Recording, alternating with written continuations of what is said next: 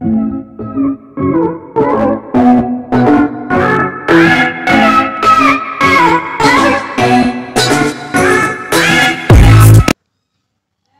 दोस्तों welcome to our channel दोस्तों, आज हम करेंगे आर एस अग्रवाल बुक से रेशो एंड प्रपोर्शन का पार्ट थर्ड पिछले दो पार्ट पिछली वीडियो में डाल चुके हैं, दो वीडियो आ चुकी हैं, उनको देख लें।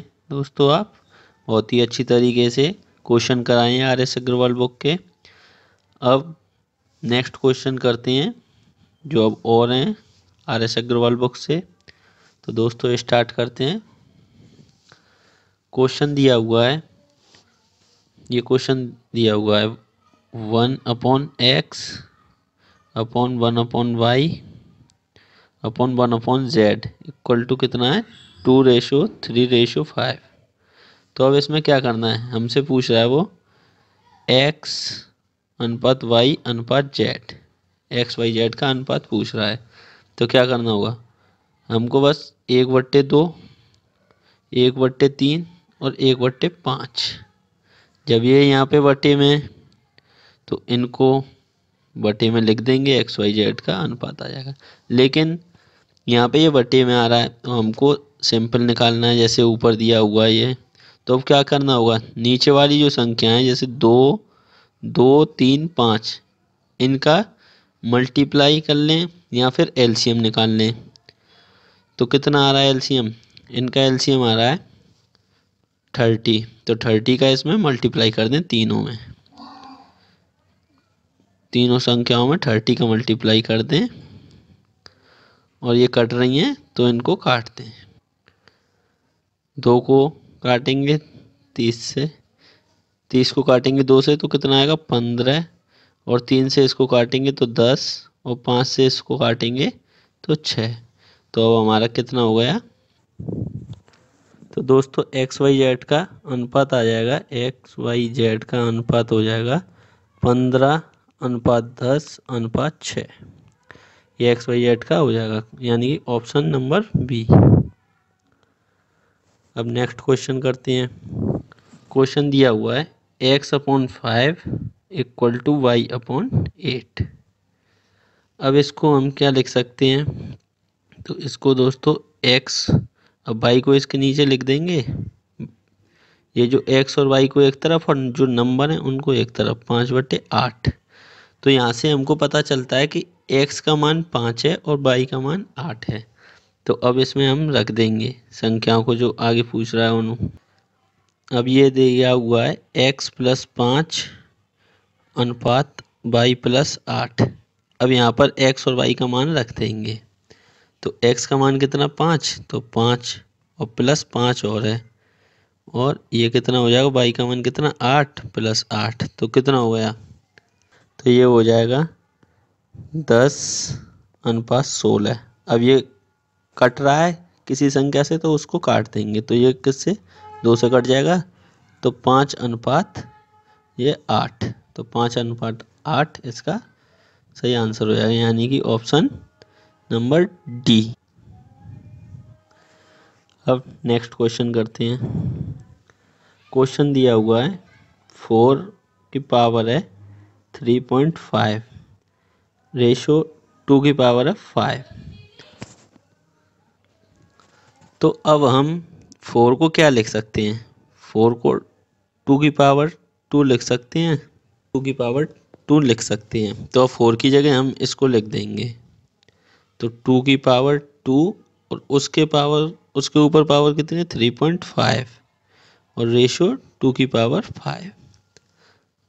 तो अब पावर के ऊपर पावर लग, जैसे ए की पावर एन के ऊपर एम पावर है। तो क्या होता है? ए की power N into M तो अब इन दोनों पावरों का मल्टीप्लाई कर लेंगे। तो जब टू का मल्टीप्लाई थ्री पॉइंट फाइव में करेंगे तो कितना हो जाएगा? सेवन और टू रेशो फाइव दिया हुआ है। अब ये कट रहा है तो इनको काट देंगे। आंसर हो जाएगा टू की power two ratio one five से ये कट जाएगा तो यहाँ पर टू बचेगी।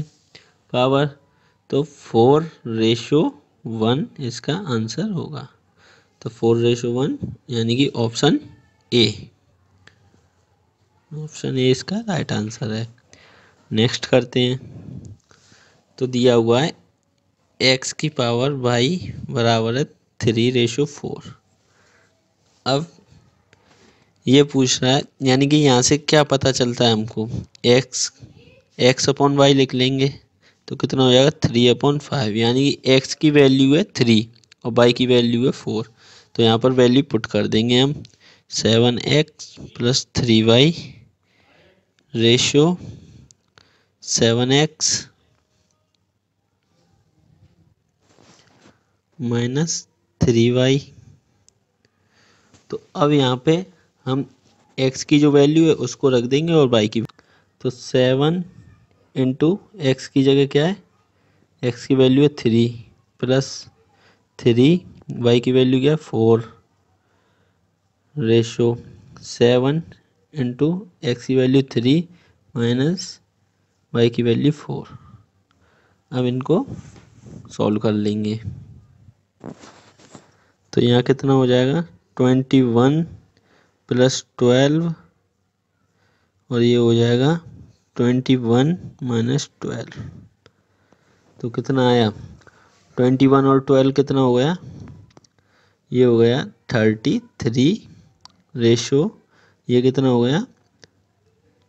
नाइन। अब थ्री से कट जाएगा तो थ्री से ये कितना ही बार गया? ग्यारह बार, और ये थ्री बार। यानी ऑप्शन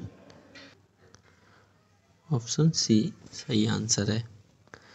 अब नेक्स्ट क्वेश्चन करते हैं। तो क्वेश्चन दिया हुआ ये। इसको दोस्तों समझना है आपको। इसमें एक फॉर्मूला लग रहा है। तो ए अपॉन बी लिखा हुआ है। तो अब एक कंपोनेंट एंड डिवोनेंट का फॉर्मूला होता है। उसको हम क्या लिख सकते हैं इसको? A plus B upon A minus B ये फॉर्मूला लगाना है इसमें। तो कैसे लगाएँगे? तो दोस्तों, लिखा हुआ है three A plus five B और three A minus five B ये लिख रहा है। तो अब इसको इससे तुलना करिए। तो ये अगर हम इसको मान लें ए पूरा, जैसे ए है और ये बी मान लें इसको तो ये यहाँ पे बी है। तो ये ही ए यहाँ पे है। तो ये यहाँ पे थ्री है और बी ये यहाँ पे है तो यहाँ पे भी है तो फाइव बी यहाँ पे है तो यहाँ पर भी है। तो इसको हम ए अपॉन बी लिख सकते हैं। तो ए हमने क्या माना था? थ्री ए और बी क्या माना है? फाइव बी तो इसको हम लिख सकते हैं। तो अब दोस्तों, इसकी जगह इसकी जगह तो ये लिख देंगे हम। अब इसके बराबर क्या दिया हुआ है? फाइव अपॉन वन तो जब इसकी जगह थ्री अपॉन ए लिख देंगे थ्री थ्री ए और five B three A upon five B लिख देंगे। तो इसके बराबर में क्या था? इस पूरे के बराबर में था फाइव अपॉन वन तो इसमें भी तो लगाएँगे तो इसका क्या हो जाएगा? Five plus one upon five minus one तो फाइव प्लस वन करेंगे तो कितना हो गया? सिक्स और फाइव माइनस वन करेंगे तो कितना हो गया? फोर। अब इसको सॉल्व कर लेंगे। जैसे इस थ्री से ये कितनी टाइम गया? दो बार गया? अब दो से ये चार दो बार गया। तो क्या आ गया? तो अब कितना हो जाएगा? यहाँ बचा ए और बी फाइव इधर पहुँचा देंगे तो फाइव अपॉन टू तो अब इसको अनुपात में लिखेंगे तो ए अनुपात बी बराबर पाँच अनुपात दो, यानी ऑप्शन सी तो बस दोस्तों, इसमें क्या करना है? इसमें बस इस फॉर्मूले को लगाना है। आप इस फॉर्मूले को लगाएँगे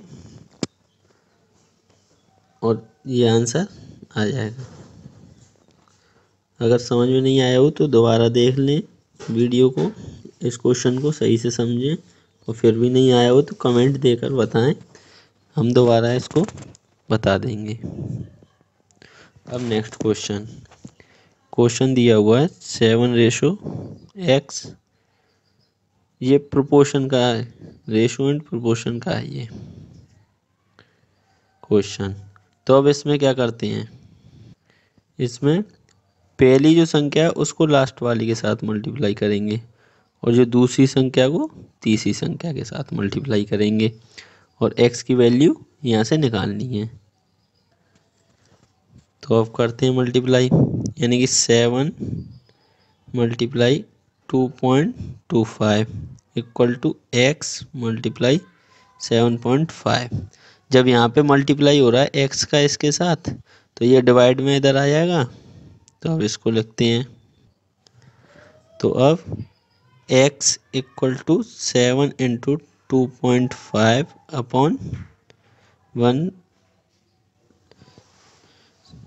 twenty two point five upon seventeen point five अब पॉइंट से पॉइंट कैंसिल हो जाएगा। अब इसको काट देंगे।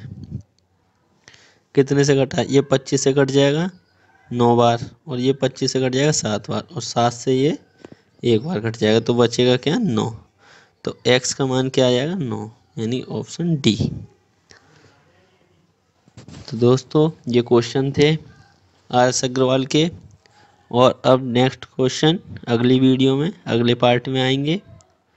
तो दोस्तों वीडियो अच्छी लगी हो तो लाइक करें और शेयर करें अपने दोस्तों में। सब्सक्राइब करें और बेल आइकन को दबा लें जिससे कि आगे वाली वीडियो को आपको पता चल जाए नोटिफिकेशन मिल जाए।